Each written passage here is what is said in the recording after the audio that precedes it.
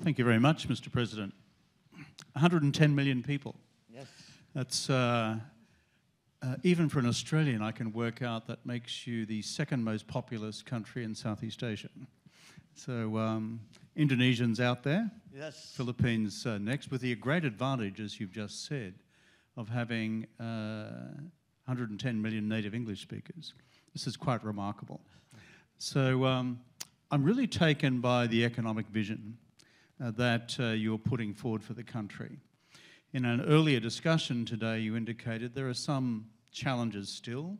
Uh, the uh, digitalisation of the economy has been slow. Uh, but in terms of the future, if you're looking at the digital economy, the renewable energy transformation, but also uh, future secure supply chains, give us a sense of where you hope the country to be economically uh, at the completion of this term. Well, uh, to, put, to put it very simply, um, I've been asked what is the uh, um, absolute end result that uh, we are hoping to achieve. And it's very simple for me. No more, not one more hungry Filipino. And that is a very simple, it's, it's a very simple aim. It's a very simple goal. But I dare say it is not necessarily a, a simple uh, problem to solve, and it, uh, requires a great deal of effort and, and uh, thinking on uh, the part of the public sector. But uh, if it is the public sector's uh, responsibility to attend to that social problem that, that we are facing, we are engaging, this is the new policy of this administration, we are engaging the public sectors, uh, the private sector rather, as partners in that effort. We hope to uh, leverage whatever it is that the government can do uh, to maximize the effects of what uh, development we are able to, uh, we are able to encourage and uh, to the benefit of those who have come to help us, our partners, our investors, and of course, to the benefit of the ordinary Filipino. And so the, as, uh, as I came into office, of course, uh, the primary concern was the economy. The primary concern was the livelihood of Filipinos. And uh, this is why we have come to the conclusion with the economic managers who we uh, have engaged and have asked to join government. We, I think, I believe that we have uh, the best and the brightest uh, of our economic managers, with a, all of whom have a long history of success and a true understanding of the problems that Filipinos face, and furthermore, a true understanding of what we need to do to solve those problems. And again, we have managed uh, to engage our uh, public, uh, private sector partners, and uh, to be part of this effort. And uh, I do not think that we could manage to do this by ourselves in the public sector. To take that, to take that point a little further, I would say that not only private sector partners in the Philippines, but also partnerships between governments and the Philippines as partners, as allies, as friends. As we all emerge uh, from the, uh, the pandemic and try to reinvigorate and transform our economy, I believe that the partnerships that we make between uh, our friends and allies around the world are going to provide the stability that we are going to need as we face a new world and face the problems really that we have not faced before the pandemic and we have not faced before. And we now have to find new solutions. Business as usual in our view simply has no place in that because it is not business as usual. The pandemic basically has changed everything we live differently, we work differently, we study differently, we, uh, our social contacts are done differently. And I can, as, as, as, you can imagine, this leads now to that process of digitalization. that we all need to uh, undertake if we are going to be part uh, of the new global economy.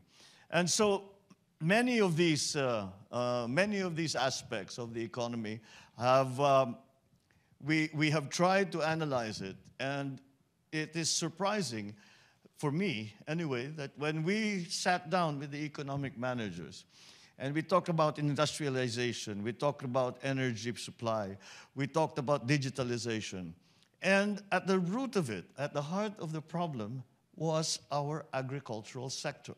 You would think that the high tech industries would be the ones that would hold the key, and they do in many ways. But all that that we can do uh, with uh, the new industries still have to be founded on a very strong and uh, reliable uh, agricultural sector. The pandemic showed very clearly the weaknesses that Philippines has in terms of uh, being able to provide a strategic food supply to our, to, our, to our countrymen at the price that they can afford. And so that, for us, has been really the first step is uh, trying to improve the, rate, the, the production of uh, agricultural products. And um, of course, this has been made terribly difficult with the shocks that the uh, agricultural sector, perhaps not just in the Philippines, but the, around the world, the shocks that have been dealt us by the conflict in Ukraine. It is a constant surprise to all of us, uh, but that we are having to learn to live with that a conflict in Eastern Europe should affect the Philippines at such a profound and basic level as agriculture. With the prices of fertilizer going up, with the prices of uh, in, uh, agricultural, agricultural commodities going up, with uh, the uncertainties in, of supply. And so we now have to go to what we describe as non traditional sources and we have to diversify. I, I, I don't think that this, uh, that this is unique to the Philippines. I see it in many of the other countries. So those are the first steps I think we'll have to do with the agriculture. And then we have to fix our weaknesses in the bureaucracy. We have to uh, learn to be more efficient. We have to streamline our uh, civil service, both at the national and at the local level. And uh, unfortunately, the Philippines in these, uh, in these areas are still, still, we are still playing catch up. Uh, but that's not, what, that's not where we want to go. That's not just where we want to go. We don't want to just catch up. We want to go beyond that. We have no interest in going back to pre pandemic levels. What we are interested in is to flourish further and to position the Philippines in such a way that we can take full advantage of the new economies that, and the new industries that have come to light. Unfortunately, the, many of the traditional uh, sectors uh, that we had depended on during, the during pre-pandemic days uh, will cease to exist, have ceased to exist. And we have to identify as quickly as possible and to have a good view and forecast for the future to position the Philippines in such a way that uh, we are able to uh, be part of the transformation of the global economy. Thank you for that. Mr. President, you mentioned a couple of times that uh, you're a treaty ally of the United States. So are we Australians. There are five of us in Asia. Sometimes the Americans can be tricky to deal with. How's, how's it, how's, I, I, don't think you'll, you, you'll get any contradiction from the Philippines uh, on that. but they're good people, and uh, they've been reliable security partners. So tell me, uh, in a nutshell, how's it going with Uncle Sam? Because it wasn't going so well under President Duterte. Well, in a sense, uh, well, it never, in a sense, despite the fact that uh, my predecessor, President Duterte, had a, a very different treatment of the uh, relationship between the US and, uh, and the Philippines.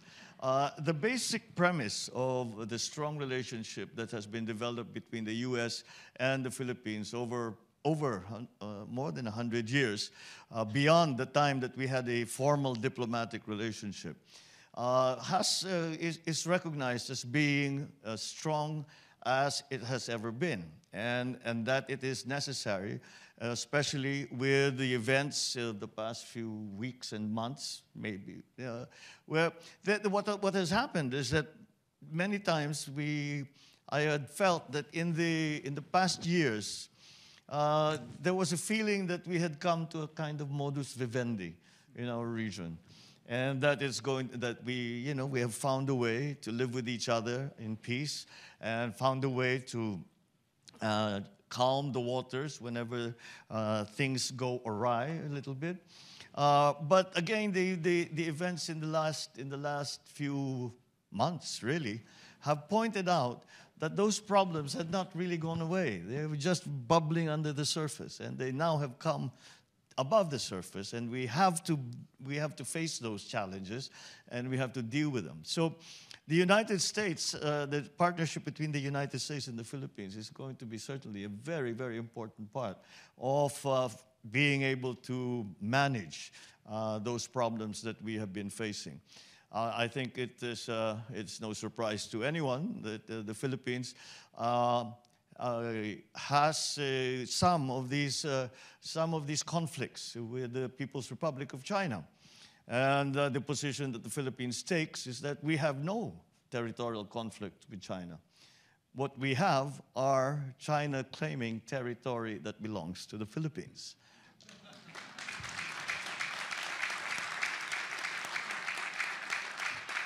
So this is the, the position we take, and uh, with, our, with our American partners, we have, uh, we have uh, promoted that, uh, that position. We have also made it very clear to our friends in Beijing uh, that this is the way we feel about it. And uh, as, a, as a consequence of this challenge that we have, this diplomatic, this territorial challenge that we have, um, I'd like to point out that this is the first national election in the Philippines where foreign policy was an issue with the people. Uh, generally speaking, in our experience, the foreign policy, uh, the ordinary citizen, the ordinary voter, uh, would say, well, foreign policy is not really our concern. Uh, let the uh, experts in government decide that. But when it happens that, we, that our fishermen are not allowed to continue with their livelihood, to fish in areas where they have fished for the last 30, 40 generations, uh, then it becomes an issue right at the gut of our people. And that is where we find ourselves now.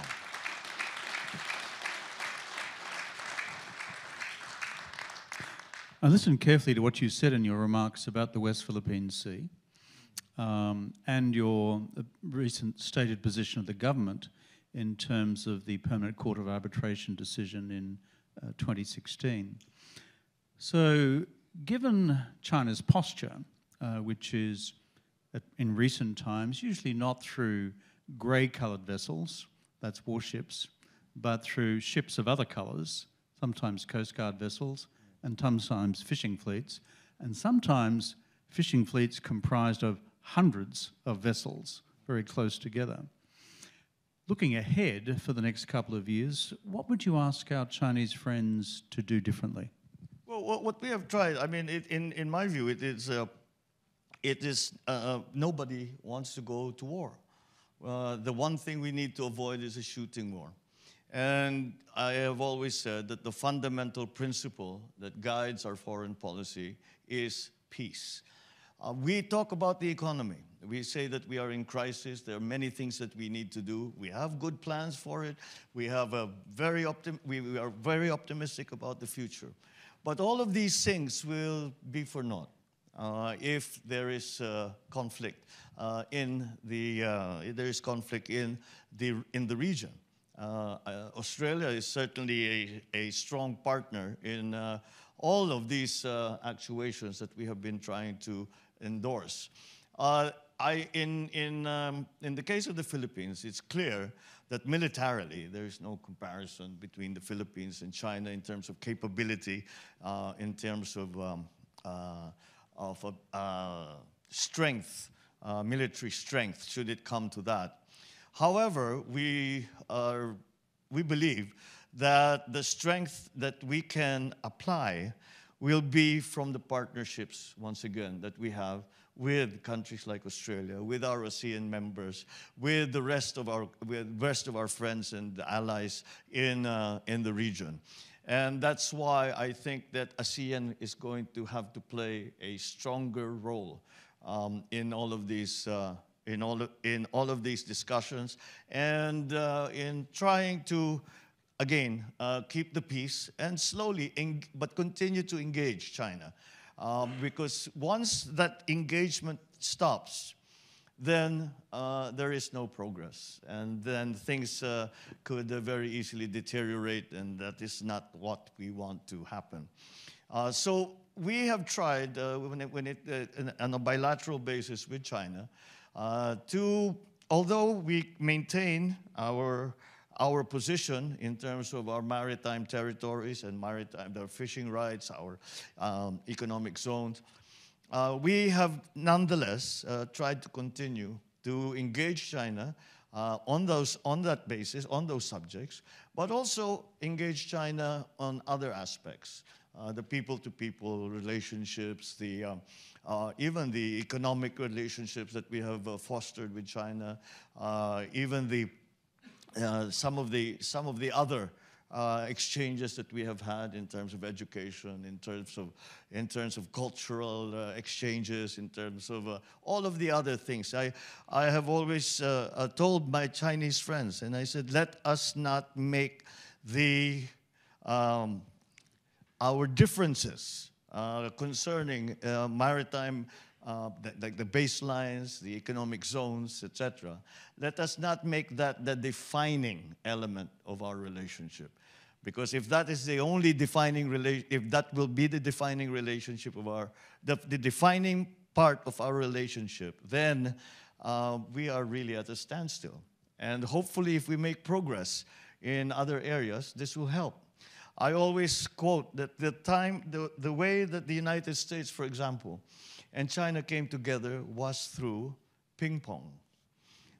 If you remember, it was because the uh, Chinese uh, ping pong uh, captain well, played with the United States ping pong captain, and they became friends, and ping pong went to, China, to the United States. And this led to Richard Nixon going to China and uh, establishing uh, diplomatic relations.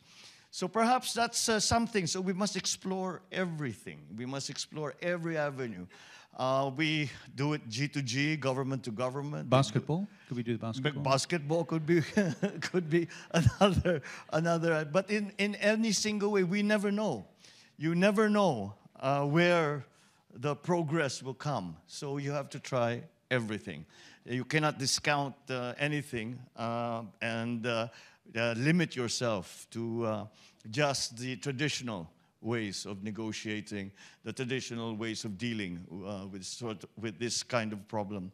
Uh, we have to be, uh, to, to an extent, I would say that we have been successful and that we have slowly begun to redefine, or rather, no, not redefine, but to add uh, to that relationship uh, in other aspects of, of uh, diplomatic life, of political life uh, within the region. And uh, I think that has happened because of, again, the strong partnerships that we have with the other countries, our allies around the region. And uh, that way, that uh, united front that we can present, uh, I think is a very, very important aspect of that engagement. In your speech before, you also made positive reference to the Quad and AUKUS, and that follows, I think, from the logic you've just explained about those um, beyond the Philippines uh, on whom you can rely for security policy support. Um, your reflections on how the Quad, for example, uh, aids to strategic stability in the region, uh, that would be of interest, I'm sure, to this audience. And within that, uh, your view and vision of your future relationship with Japan. Well, the uh, Quad certainly is another one of those agrupations that we feel are going to be. It's a partnership uh, uh, between countries that uh, I think, uh, again, uh, by if we were to move as, as one country alone, um, it would not be as effective as if we approach the problem as part of these political, diplomatic aggregations, even military aggregations that we have put together. Uh, so that, uh, that's, again, something that is fundamental to uh, the, way we, the way we try to approach the problems that we are facing um, vis-a-vis the uh, maritime disputes that we have. Um, uh, I have to remind people that uh, these maritime disputes are not only with China. Uh, they, we also have uh, within ASEAN uh, some disputes with our other member countries. So, but in my view, this applies as well. Uh, so this, this kind, this, these kinds of, of partnerships, I think, are, are very, very important. Now, Japan, certainly, I had, I had a meeting with uh, the Prime Minister, Prime Minister Kishida, just uh, the other day. And um, naturally, I think uh, it's no surprise to anyone that uh, they are terribly, terribly concerned, um, not only of China, but we, because of the recent events, we have focused on uh, the Taiwan situation, um, the visit of the United States House Speaker Nancy Pelosi to Taiwan, uh, sort of highlighted once again the simmering tensions that, uh, as I said, were beneath the surface but now have surfaced out into the open. But we, if you remember, if we go back maybe uh, six months, it was North Korea that we were all very worried about. And it is exactly that, uh, that I think that aspect of it that Japan is also worried about because when you have missiles flying over your, your in your skies and into the sea, uh, it's not very surprising that Japan will, will, will, will uh, be alarmed. And again, uh, that is part of uh, the relationship that we have uh, between, between ally countries. Japan is an ally. Japan is a friend and a partner in many, many ways, again. And that, again, again we feel that we should strengthen that and continue to um, we continue to, to promote uh, that partnership. The difference between, the difference between um, right now, anyway, uh, between the conflicts or the disagreements between China and the rest of uh, the countries around the area and Korea is Korea has threatened to use nuclear weapons. And that would be a complete disaster and that it, there is no way that the, that the Philippines will, uh, will be somehow exempt from uh, that sort of conflict. And it's very interesting to watch what's happening in uh, Russia and Ukraine. And it's very worrisome because if there is a possibility that nuclear weapons suddenly become, even tactical nuclear weapons, not strategic nuclear, but tactical nuclear weapons become part of that equation, then we, are, then we will see the normalization of nuclear weapons as, uh, and we will, be, it will, nuclear weapons will become conventional weapons. And perhaps that will encourage other nuclear powers to exercise uh, that nuclear uh, option, which, uh, as we all know, uh, is going to be a uh, is, is the is really end of world scenario. Uh, so, in, to, to, to take this the point a little further, we have now we are beyond we are beyond the Cold War. Um, we do not I do not subscribe uh, to the spheres of influence like we had uh, during the Cold War. Uh, so that uh, so we we see that nuclear weapons should not be, we should, not, we should abandon the idea of nuclear weapons as deterrence um, and really work towards bringing down the, the stockpiles of nuclear weapons in the world and with, of course, the, the, the ideal result of them being taken away and uh, us not having, no one having any nuclear weapons. Now, that's easier said than done. That's easier said than done because each country that has nuclear weapons uh, have a different view on the subject and feel that they must have it because uh, uh, they have enemies that they feel that uh, need to be deterred.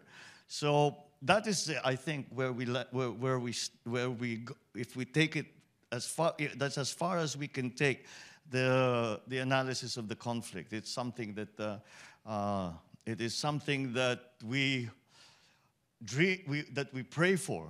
Uh, but the way towards that uh, the way towards that end uh, certainly is not clear, as there are so many varied and different uh, views on the subject vis-a-vis the individual the situations of, uh, of, those, of those countries that do have nuclear stockpiles. So this is the thinking that uh, uh, we have um, developed, and this is the thinking that we have tried to espouse to our friends and neighbors. Your comments just now about the legitimization of the use of tactical nuclear weapons, I think, are extraordinarily important. The more of us in the international community who are serving political leaders like yourself who make that clear to our friends in Moscow, the better. If we cross that threshold, we're into a world of different pain. Um, uh, domestic politics, um, 60% of the vote in your election. Pretty impressive. Um, the best I ever did was 53. Uh, so you're obviously a better campaigner than me, my friend. so, uh, the, um, but on domestic politics, and, uh, and I always head in this direction with all of our guests, had the Chinese foreign minister here yesterday. Uh, under President Duterte, there were concerns raised about human rights in the Philippines, and particularly in his drugs campaign. Um, some questions uh, today about legal actions against your Nobel laureate, um, Maria Ressa. And then uh, even the State Department report, uh, annual report, refers to uh, several hundred continued political prisoners. So your reflections, I noticed what you said before about uh, unifying all Filipinos. Could you give us your reflections on the future of human rights in the Philippines? Well, the, the argument, or rather the discussion about human rights in the Philippines in the past few years has really derived from the anti-drug war that President Duterte uh, undertook. Uh, and as I, as I come into office, uh, you look and you see we cannot, we cannot stop the drug war. The, the problem continues to exist. What we can do is uh, to examine and learn lessons from the experience in the, uh, from the past administration. And to, be, to, to go into a little more detail, I think we have found, uh, it is certainly my view, that uh, enforcement uh, which has been the, the, the, the, part of the drug war that has been, uh, uh, that has been mo most vigorously pursued by President Duterte, only gets you so far. And my approach is uh, slightly different. And uh, we, look on, we look at the drug problem in the Philippines, and it is a significant one. Uh, there are approximately, I suppose, according to official statistics, close to four and a half million actual addicts in the Philippines. And that uh, the corrosive, the corrosive effect of, uh, on that, on society, uh, on criminality, uh, on the drug syndicates, etc., even the politicization, politicization of the, of the whole uh, drug uh, syndicates and their networks um, is uh, something that we still have to deal with. And so perhaps we, look, we should look at it, we should look, instead of just enforcement, which will continue, but in a more focused way. Uh, I tell, I tell when I first came uh, with, to my first command conference in, in the, uh, in the, in, with, the, with our policemen, and I said, we will, we will adjust we let us adjust our, our, uh, our focus. And let us also look at prevention. Let us uh, education our, to our young people to say that, you know, this is a dead end. Uh, this will get you absolutely nowhere. It will get you put in